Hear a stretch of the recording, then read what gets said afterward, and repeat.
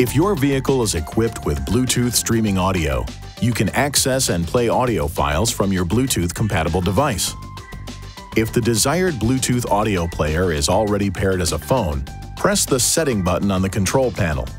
Touch Bluetooth on the display screen, then Connected Devices, and then Audio Player. Select your already paired phone as an audio player by touching its name on the screen.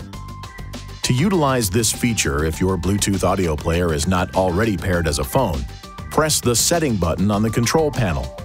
After touching the Bluetooth key on the display screen, touch the Connect Bluetooth key. The next screen asks you if you are connecting the device to use with a hands-free phone system. Touch the No key. Enter a pin of your choice on the touchscreen and then enter the same pin into the Bluetooth audio device to complete the connection process. Check your audio device's owner's manual for more information. Once the device is connected, press the Disc Auxiliary button several times until Bluetooth audio appears on the display screen. Touch the on-screen keys to pause or play the audio files. Your device's audio files will now play through the vehicle speakers.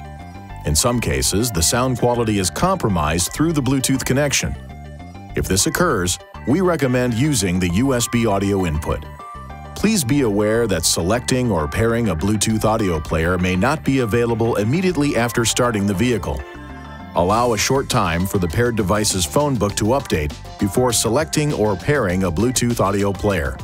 Please see your owner's manual for important safety information, system limitations, and additional operating information.